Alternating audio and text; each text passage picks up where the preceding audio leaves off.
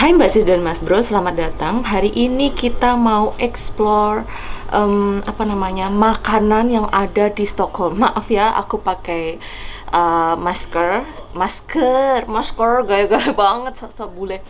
Jadi aku pakai masker karena aku mau dining in di restoran sushi yang ada di eh, bawah kantor kedutaan besar Republik Indonesia di Swedia atau di Stockholm. Tapi ternyata kamera aku 15%.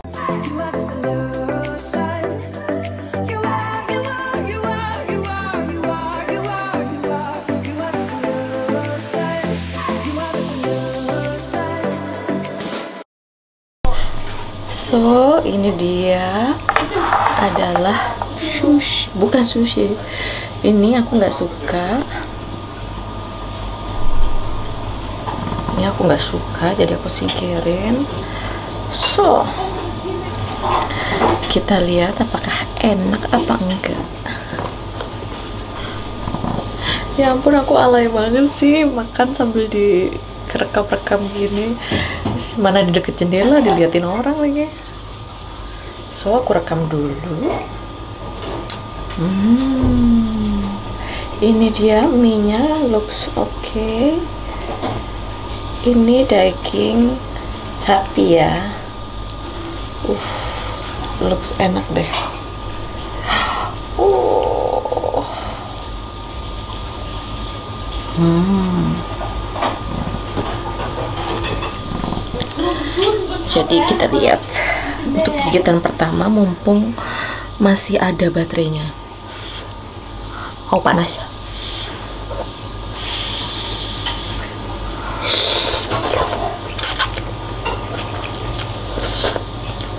Hmm, lanjut. Jadi ini lokasinya ada di bawah kantor kedutaan besar Indonesia. Hari ini aku mampir ke sini cuman untuk say hello. Biasanya bisa masuk sih. Hmm, tapi karena mungkin corona ya jadi aku mendingan di luar aja ya. Karena pasti mereka kan juga tutup gitu. Jadi mendingan aku di luar aja sambil nyobain makanan ini sambil nungguin yang sedang nyobain batik aku. Hmm. Hmm.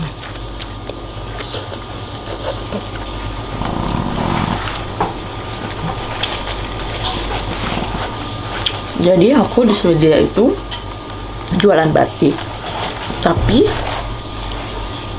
oh bukan, oh muncrat asam.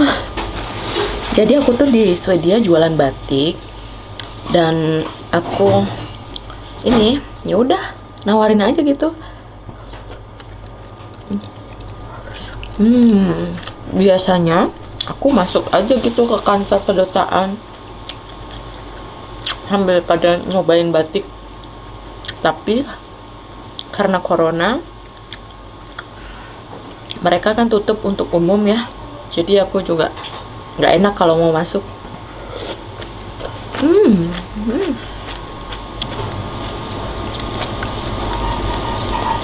lumayan enak.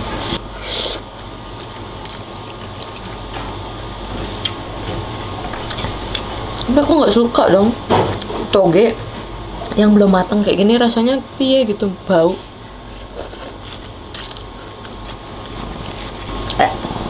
harusnya aku singkirin juga tadi. Tadi aku juga udah izin sama yang punya. Mereka yang punya atau karyawan ya. Pokoknya aku udah izin ngambil video di sini boleh apa enggak. Mereka bilang boleh hore. Dan kebetulan nggak ada orang di sini. Jadi aku bebas lua, lu- leluasa untuk bikin video walaupun tetap aja diliatin sama orang-orang yang lewat di sini. Hmm.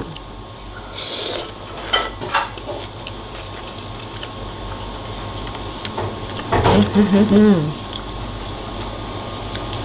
Andes. Hmm. Hmm.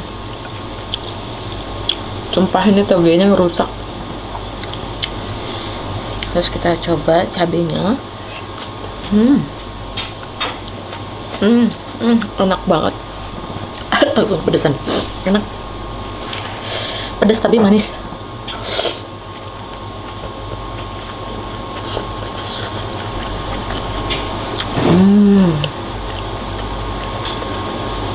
jadi di sini tuh kalau untuk sushi ini untuk segini itu harganya 149 kroner.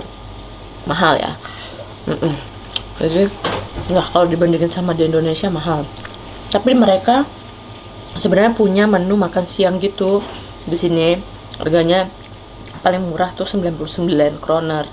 Cuman aku dari dulu tuh setiap kali ke embassy itu pengen banget nyobain ke sini. Cuman kayak rempong gitu atau belum belum ada kesempatan jadinya mumpung sekarang mampir ke kedutaan jadinya aku bisa sendirian dan nggak bawa anak nggak bawa suami hmm.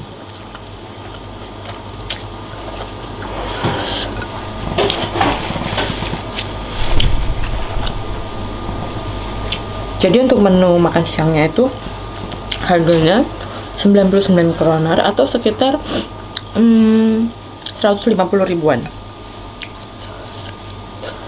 hmm. Hmm. aneh banget ya kulirin aduh moncrot lagi aneh banget ya video aku kulineran itu selalu aja makanannya makanan Asia karena piye ya mau makanan Swedia takut nggak doyan gitu udah lah mahal nanti nggak doyan jadinya aku prefer makanan makanan Asia hmm.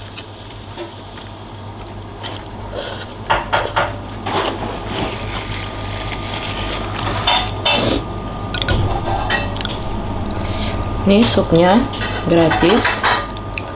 Untung di sini juga nggak usah beli minum. Kalau di Swedia itu minuman udah kayak di Sumatera ya, jadi langsung dapat otomatis langsung dapat air putih. Jadi kita nggak usah beli es teh, nggak usah beli minuman lain ekstra. Hmm, enak banget sih. Aku tuh nggak pernah lo suka supnya. Hmm, enak banget.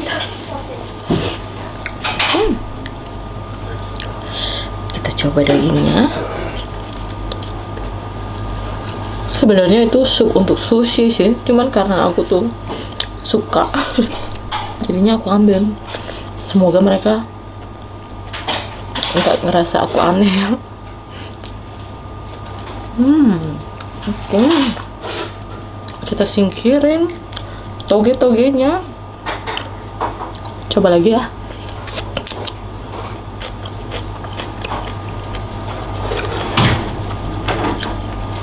Hmm, tetap bau. Jadi aku biasanya tuh kalau misalnya makan soto gitu kan togenya kayak direndam dulu gitu loh, bukan yang mentah. Ini kayak udah terlanjur mentah jadi kurang lama. Harusnya kan toge itu direbus di air panas habis itu eh bukan ding kalau misalnya soto itu kan togenya tuh eh, disiram pakai air yang baru aja mendidih gitu atau biasanya direbus tapi cuma sebentar nah itu baru ditiriskan nah ini benar-benar toge mentah baru disiram air panas itu pun banyak yang nggak kesiram jadinya rasanya masih mentah aku nggak suka Hmm, nanti kalau subur hamil lagi gimana? hmm. Oke.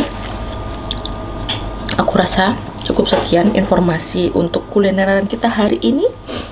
Dan semoga kalian ngiler dan pengen ramen, makan ramen yang ada di sekitar rumah. Kalau nggak ngiler juga nggak apa-apa. Oke. Hmm.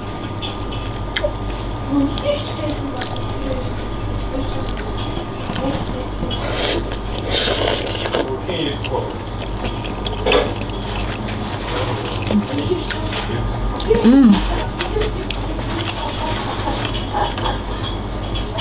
Enak banget.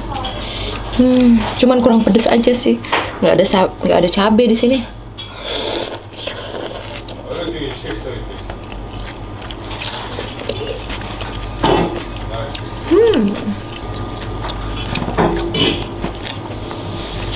pakai topinya suami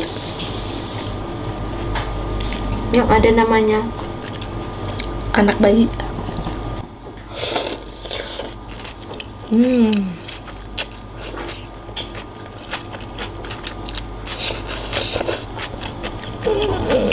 Sebenarnya bisa sih makan yang nggak kena lipstick ya jadinya harus